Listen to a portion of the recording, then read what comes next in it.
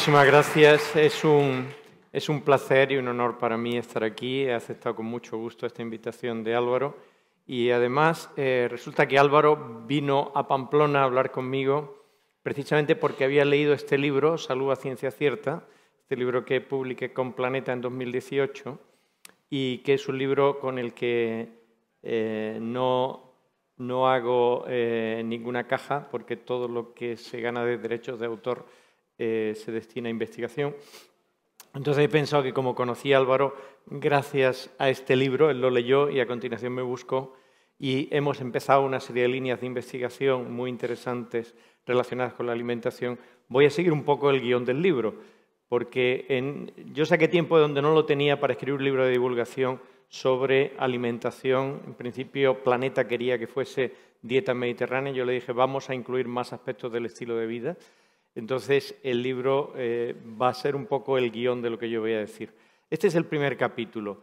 Fíjense que eh, esto se llama eh, Psoriasis Revolution. El libro es revolucionario porque derriba mitos. No hay ningún terreno en la medicina donde haya tanta pseudociencia como en la alimentación. La relación entre alimentación y salud es donde más se ha metido la pseudociencia. Entonces, por eso yo me motivé a escribir este libro. Entonces, aquí digo algo que, va, eh, que parece heterodoxo, que, por supuesto, mucha de esa pseudociencia está motivada por intereses comerciales de la industria alimentaria, de algunos sectores. Entonces, ustedes habrán oído hablar del índice de masa corporal, de lo que es el peso ideal. Vamos al parámetro más importante. Tu peso ideal, esa es la cifra más importante. Y lo que voy a decir ahora lo pongo en primer lugar, ven que es el capítulo 1 del libro, porque es una cuenta muy fácil. A la talla se le quita el 1.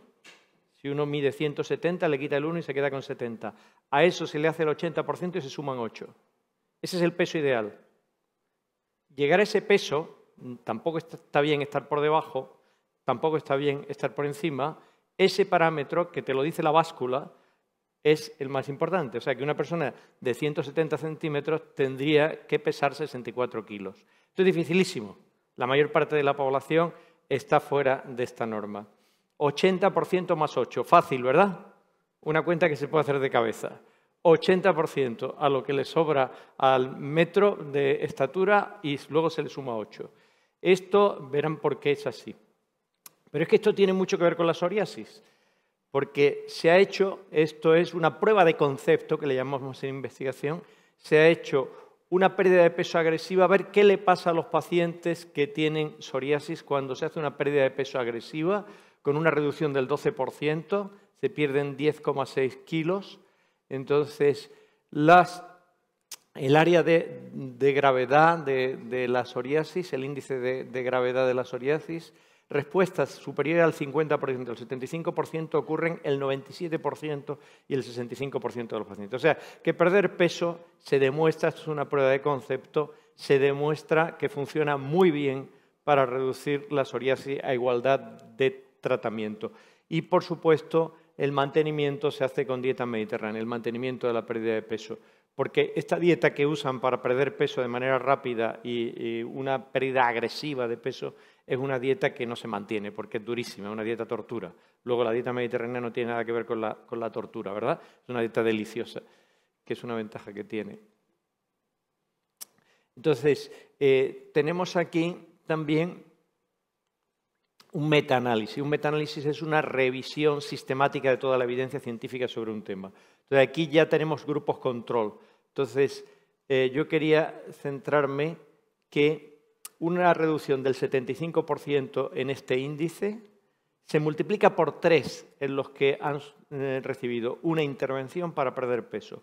Esto de 2,92, casi 3, es tres veces más frecuente que cuando a la gente se le hace perder peso, mejore la psoriasis en más de un 75%, que cuando no se hacen intervenciones de pérdida de peso.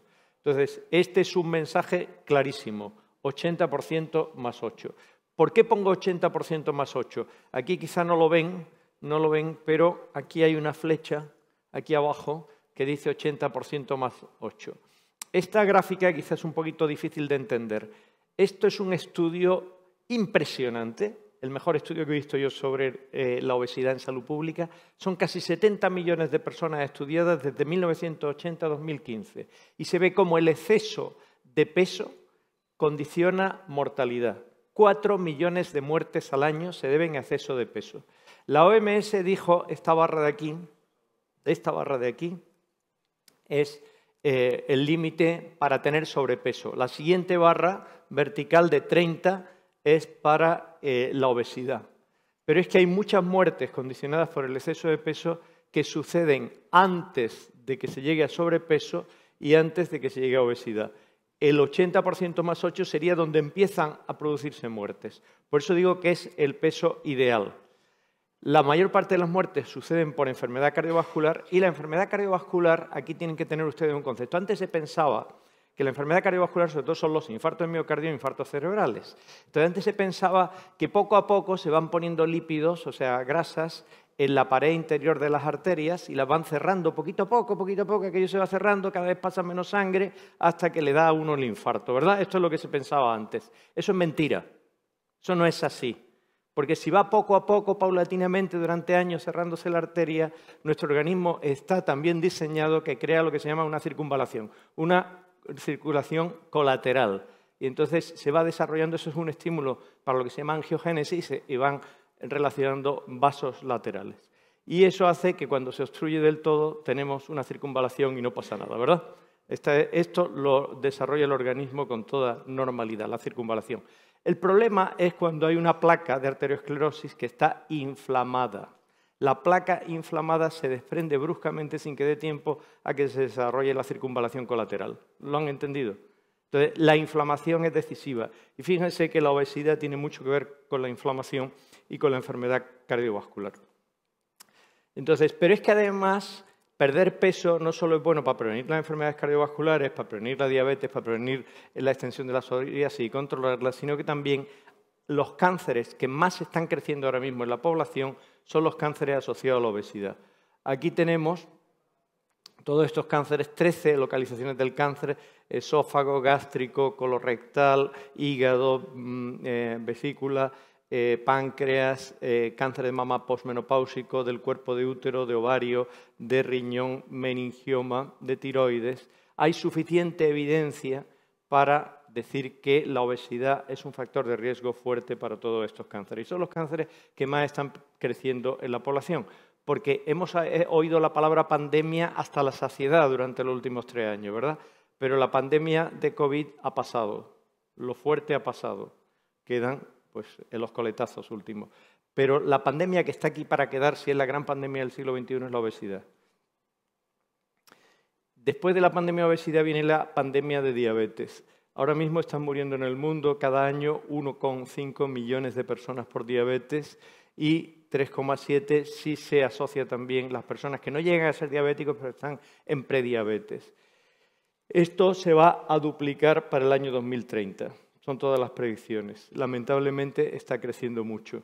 Aquí tengo como la muerte por cáncer, la muerte vascular, la muerte por otras causas. A partir de siete, a partir de estas barras que pongo aquí, es cuando se denomina diabetes. Lo que hay a la izquierda es cómo se eleva el riesgo incluso en personas que todavía no tienen diabetes, pero tienen la glucosa alta. Una forma de controlar la glucosa es controlar el sobrepeso y, por supuesto, controlar la alimentación. Entonces, estas son las proyecciones de 2015 al 2030, cómo van a crecer las distintas enfermedades que más daño producen. Algunas van a reducirse, pero fíjense que la enfermedad coronaria, que son los ataques al corazón, los infartos, la insuficiencia cardíaca y el ictus, estos son los infartos cerebrales, y sobre todo la diabetes es lo que más va a crecer, según todas las proyecciones de los epidemiólogos. Entonces, son enfermedades que se pueden controlar. Esto lo hemos hecho en un estudio que se llama Seguimiento Universidad de Navarra, lo publicamos en colaboración con la Universidad de Palermo, eh, la, doctora Ligia Domínguez, catedrática de Medicina Interna allí. Entonces, vimos que por cuánto se multiplicaba el riesgo de diabetes según era el índice de masa corporal. Entonces, aquí, aquí abajo, tenemos índices de masa corporal que no llegan a ser de sobrepeso, esto es, que están por encima de ese 80% más 8, ¿Y por cuánto multiplican el riesgo de diabetes? Por cuatro. Pero es que si estamos en índices de masa corporal muy elevados, ya se multiplica por más de 30 veces el riesgo de diabetes. O sea que controlar el peso es de lo que más puede hacer para prevenir la diabetes. De hecho, nuestros compañeros del Departamento de Nutrición de Harvard dijeron que el 91% de los casos de diabetes se podían controlar con estos cinco factores. Tener una alimentación sana, estar delgado, hacer ejercicio, estar libres de humo, no fumar y consumir moderadamente alcohol. Con solo los tres primeros, nutrición sana, delgadez y ejercicio, se previenen el 87% de los casos de diabetes. Este es uno de los mejores estudios que se ha hecho sobre la prevención de la diabetes. Es un estudio observacional, pero también hay un estudio experimental que esto es en gente que tenía prediabetes, en más de 2.000, esto se llama el Diabetes Prevention Program, eso es lo que significa DPP. En gente que tenía prediabetes le aplican un fármaco, la metformina, un estilo de vida o placebo, que es nada, ¿verdad? Una pastilla vacía. Entonces, con el estilo de vida, al cabo de cuatro años, fíjense cómo el riesgo de diabetes se reduce. Esto tiene la ventaja de que es un ensayo aleatorizado. Es la mejor prueba científica. ¿Y en qué consiste el estilo de vida? Pérdida de peso, ejercicio físico. No hacían dieta. Si a esto se le añadiese dieta, todavía sería más bajo. Pero es que para la enfermedad cardiovascular hay un índice que se llama Life Simple 7 que nosotros hemos aplicado para ver el riesgo de, en personas que tenían inicialmente alto riesgo y que la hemos seguido durante cinco años, pues en España 7.447 personas de alto riesgo cardiovascular la hemos seguido y vimos que con estos siete factores, que son de los que hablo en el libro Salud a Ciencia Cierta, o sea, tener el índice de masa, estar delgado, no fumar, hacer ejercicio físico, tener una alimentación sana, tener el colesterol, la presión y la glucemia controlada, eso es lo que se llama la salud cardiovascular ideal. Fíjense cómo va bajando el riesgo de tener un infarto en los próximos cinco años, o un infarto de miocardio, o un infarto cerebral, o una muerte cardiovascular. Aquí contamos eventos clínicos duros. A lo largo de cinco años y desde tener cero, o sea, que no se cumple ninguna de las siete cosas, hasta tener las siete.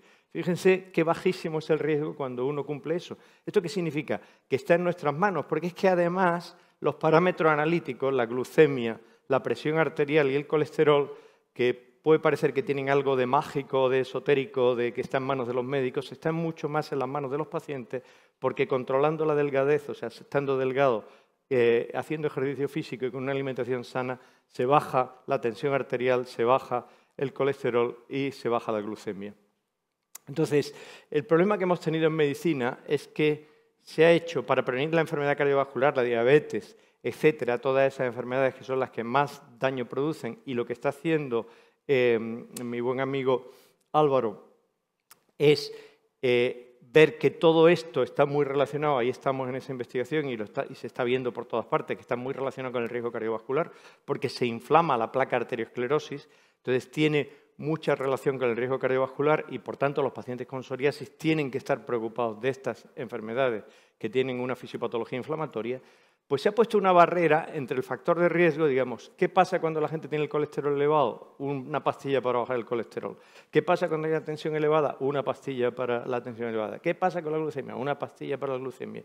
Se ha puesto ahí la barrera y esta barrera está reventándose. Esto es como un dique que ya revienta porque no está parándolo. De hecho, la expectativa de vida en Estados Unidos está bajando. El dique había que haberlo puesto aquí los determinantes de esos factores de riesgo. FR son esos factores de riesgo.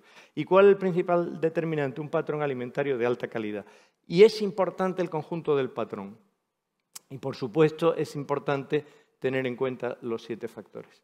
Por eso el capítulo del libro es Obesidad, la pandemia del siglo XXI. Nadie se convierte en obeso de la noche a la mañana, ¿no? Le da un ataque de obesidad por la noche y al día siguiente es obeso, ¿no? Antes estaba delgado. Entonces, aquí el problema, fíjense cuál es el problema. Estos son chicas de 5 a 19 años. ¿Cuántas tenían obesidad? Lo que está en azul es el 1%, lo que está en verde 2-3%. ¿Ven? Esto es lo que había en el mundo, pero esto era en 1975. Por eso digo que esto no tiene precedente en la historia de la humanidad. Fíjense qué ha pasado en 2016. El rojo ya es 15-20%. Queda nadie en azul, ningún país. Entonces, esto es, y ese grupo es el grupo que menos obesidad tiene de todos los grupos que se pueden hacer por edad y sexo. Nosotros hemos visto, esto lo publicamos en Nature Reviews, cómo estas curvitas me llevaron muchas horas de trabajo, porque tuve que mirar muchas fuentes, muchas fuentes para hacer estas curvas. Había menos de 100 millones de obesos en 1975, ahora mismo hay 700 millones de obesos en el mundo, se han multiplicado por 7. Y además para el 2025 lo que se prevé es que el 6% de los varones y el 9% de las mujeres no es que tengan obesidad, tendrán obesidad mórbida, un índice de masa corporal superior a 40, que son gente que necesita cirugía bariátrica. O sea, fíjense lo que supone esto para un sistema sanitario. Esto es el hundimiento de los sistemas sanitarios. Por eso a esto hay que darle... No se puede, ningún sistema sanitario soporta que haya que operar al 6% de los hombres y al 9% de las mujeres con eh, cirugía bariátrica pero en Estados Unidos es todavía peor. Seguimos los pasos de Estados Unidos, nos americanizamos en la dieta, comimos comida basura, hay mucho sedentarismo. El 43% de los hombres tienen obesidad, el 42% de las mujeres tienen obesidad. Pero esto es obesidad de índice de masa corporal superior a 30. Esto es muy por encima del 80% más 8 que he dicho. Y cuando se va a la obesidad mórbida, esto significa que el 7% de los hombres y el 12% de las mujeres norteamericanos adultos son candidatos a cirugía bariátrica. Eso significa que uno de cada 11 norteamericanos, uno de cada 11 necesitaría ir al quirófano porque tiene una obesidad absolutamente excesiva, ¿verdad? Y, esto se va acumulando y es proporcionalmente lo que más está creciendo dentro de la obesidad. Por tanto, eh, es la gran pandemia. Aquí tenemos cuáles son los alimentos que más engordan. Esto es muy serio. Este estudio está en la mejor revista médica de New England Journal of Medicine. Está hecho con decenas de miles de personas seguidas 20 años y cada cuatro años se valora cómo cambian de peso y qué es lo que comen. Entonces, y son en tres grupos independientes, que se ve que en los tres grupos independientes, dos son de mujeres y uno de hombres, coinciden. Entonces, las patatas, la gente piensa, las patatas son verduras. No, las patatas Patatas fritas de bolsa, patatas fritas de hamburguesería, es lo que más engorda entre los sólidos. Las carnes procesadas, aquí en primer lugar son las hamburguesas y las salchichas.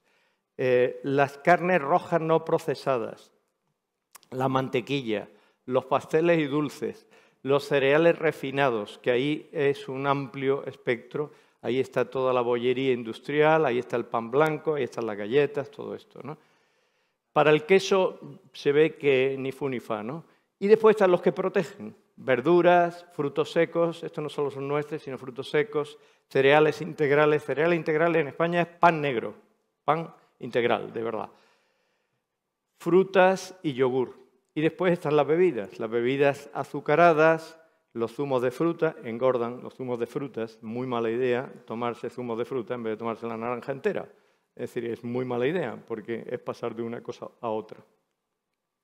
En España tenemos esto, la pasta, cereal refinado. Esta es lo que más engorda. El pan blanco, nos hinchamos de pan blanco. Las patatas, la paella. Esto lo sabe cualquier endocrinólogo. Nada descompensa tanto un diabético como una buena paella. Entonces, hay artistas que son capaces de hacer la paella con arroz integral, que se puede tomar pasta integral, se puede tomar pan integral, y las patatas no tienen alternativa, o sea, las patatas engordan. Y después está todo esto, que son alimentos que además están ultraprocesados. Entonces, todo esto está detrás, esta es la bomba que está detrás del crecimiento de la obesidad. Entonces, tenemos una dieta mediterránea. La dieta mediterránea que ahora explicaré, este es un estudio hecho en Francia con casi 36.000 personas, donde se ve que la dieta mediterránea eh, tiene una asociación inversa estadísticamente significativa con la gravedad de la psoriasis. Entonces, lo que encuentran aquí es este 0,64 significa que los que tienen el tercio más alto de eh, seguimiento de la dieta mediterránea tienen un 34% de reducción del riesgo y el tercio intermedio un 30% de reducción del riesgo de psoriasis grave. Entonces, eh, en el libro también hablo de alimentos que nos inflaman. Entonces, todo esto son alimentos, la grasa trans, la grasa saturada, los alimentos que tienen mucho hierro, que tienen vitamina B12, sobre todo los de origen animal, la grasa total, consumir más calorías de la cuenta, consumir carbohidratos refinados, proteínas. cuando tiene más circuito es que son más proinflamatorios. De esto se ha hecho mucha investigación. Y por contra tenemos los antiinflamatorios aquí, que son todos estos. Entonces, todo esto sería muy complicado ir midiéndolo en cada alimento. Entonces, nosotros hoy día en lo que estamos es en el patrón dietético. El capítulo 3 del libro, En busca de la mejor dieta, aquí hablo de la madre de la dieta mediterránea, que es Antonia Tricopoulou, mi buena amiga Antonia Tricopoulou, aquí la tienen, esto fue en el 2015, tuvimos el primer simposio Harvard Navarra sobre nutrición mediterránea, que lo estamos teniendo cada año, el último fue aquí en Madrid el 9 de junio pasado, con Frank Hu, que es el director del Departamento de Nutrición de Harvard. Antonia Tricopoulou fue la primera que hizo un estudio serio sobre la dieta mediterránea y eh, coincidimos mucho en muchos aspectos. Entonces, la idea es que en nutrición se ha pasado de hablar de tipos de grasa, de proteínas, carbohidratos, ha ido evolucionando y al final lo importante es el patrón alimentario en su conjunto, más que decir dieta baja en grasa, dieta baja en carbohidratos o fijarse solo en algún grupo de alimentos, sino que es tener en cuenta todos los aspectos del patrón alimentario. ¿Por qué? Porque, miren, para que suene bien la orquesta todo tiene que estar afinado. No basta con el piano o no basta con el solista. Hay que tener en cuenta todos los aspectos. Y en ese contexto, en ese paradigma, es donde se encuadra el concepto dieta mediterránea. Tenemos en cuenta muchos aspectos. En España se ha hecho el mayor ensayo de nutrición con dieta mediterránea que se ha hecho en Europa.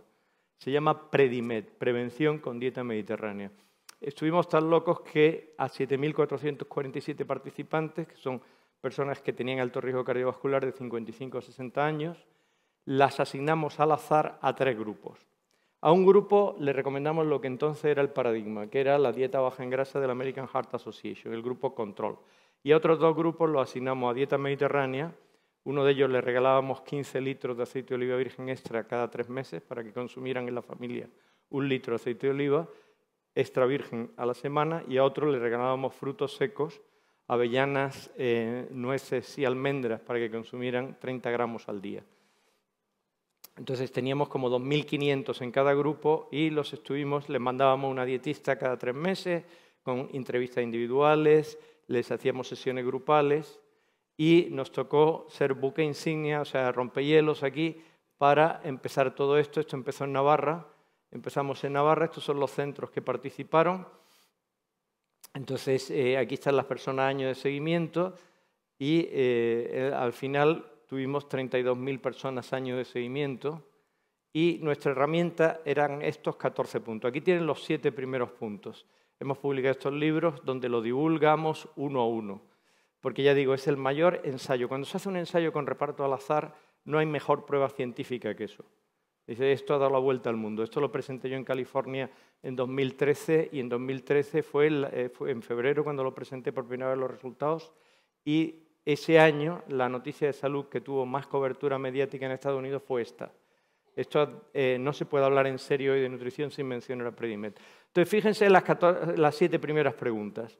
Aceite de oliva como principal grasa para cocinar, aceite de oliva consumir cuatro cucharadas soperas al día en total, tres eh, piezas de fruta al día, dos raciones de verdura, una de ellas en forma de ensalada, evitar carne roja, hamburguesas, salchichas o embutidos, eso menos de uno al día, o sea que haya días que no se coma nada de esto, reducir mantequilla, reducir bebidas azucaradas, eh, tomar un vaso de vino en la comida, a nadie que no consumiese alcohol, a ningún astemio lo invitábamos a iniciarse en el alcohol, ¿eh? esto no se hace, esto no se debe hacer porque el alcohol es adictivo pero si consume que toma un vaso de vino con la comida, con la comida siempre.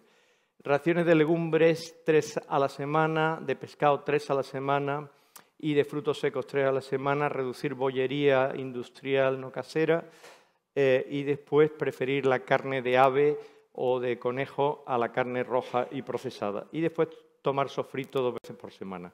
Entonces, esto era lo que nuestras dietistas insistían. Teníamos dietistas en los 11 centros, uno o dos en cada centro, con estos 7.000 pacientes, insistían en que lo hicieran.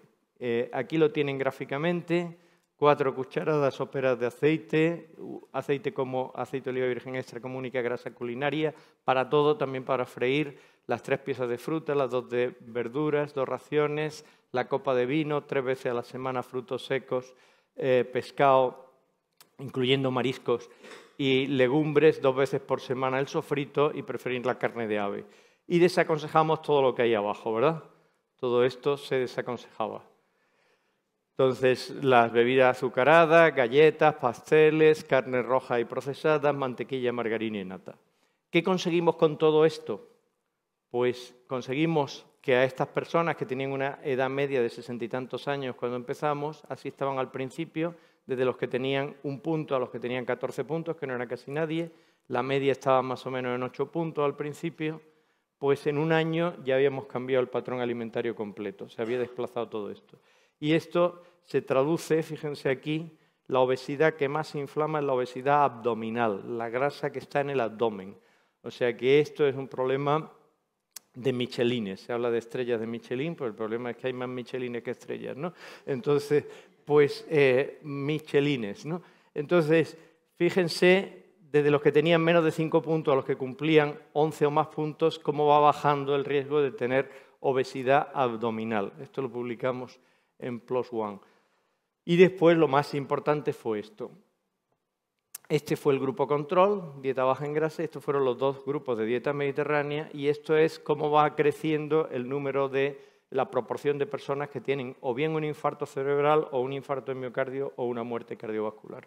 Se redujo aproximadamente en un 30% con un reparto al azar. Hasta, hasta que se hizo ese estudio, la evidencia en nutrición era de tipo B, era secundaria, porque era observacional.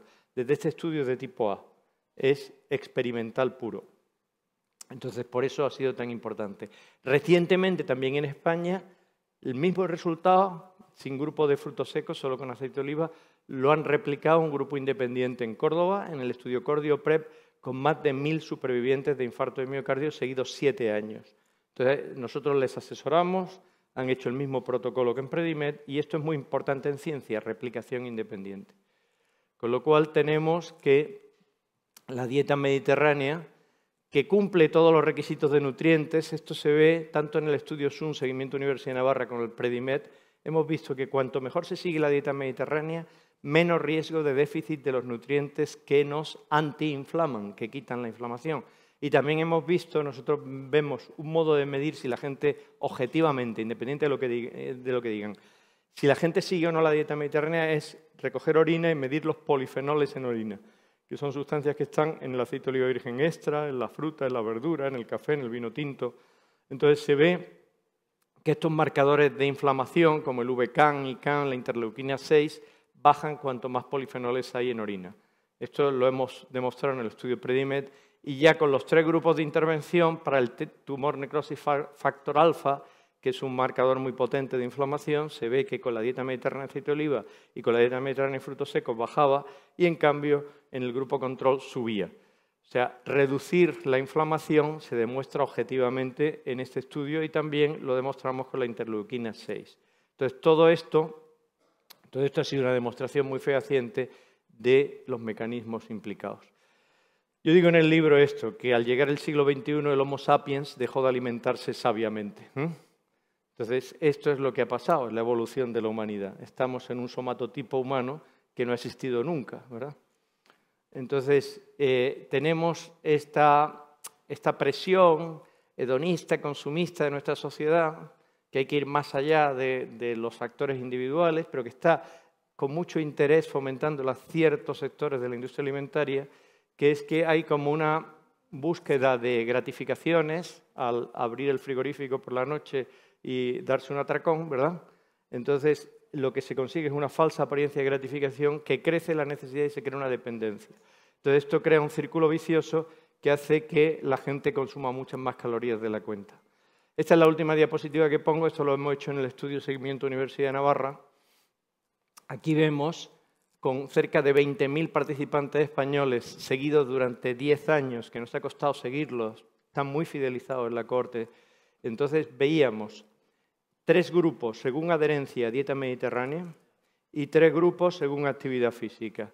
Fíjense que estos de aquí, que son los que tienen la mayor mortalidad, que les damos el valor de uno para relativizarlo todo eso, pues son los que tienen menos actividad física y menos dieta mediterránea y al pasar de allí aquí, a tener puntuar alto en los dos, se obtiene un riesgo relativo de 0,36. Eso es una reducción del 64% en el riesgo de mortalidad prematura, a igualdad de todo lo demás. Esto es una demostración muy fuerte. Hemos estado trabajando con cerca de 20.000 personas durante 10 años para poder demostrar esto. O sea que son evidencias muy fehacientes. Eh, después de Salud a Ciencia Cierta, publiqué también el otro libro de Planeta con las mismas condiciones, que se llama ¿Qué comes?, donde explico todavía más esto. He hecho estos libros sacando tiempo donde no lo tenía para poder divulgar todo esto al público y por eso me, ha encantado esta, esta oportunidad de dirigirme a ustedes, tanto a los que están aquí como a los que están por streaming, pues me parece que hay que divulgar la ciencia que hacemos. Y hay que divulgarla de una manera, estos libros no están hechos para profesionales, están hechos para el público eh, general y están escritos en un lenguaje que es ameno, pues lleno de recomendaciones, refranes, frases sencillas, pero están basadas en más de 30 años que llevo investigando en todos estos temas. Muchísimas gracias.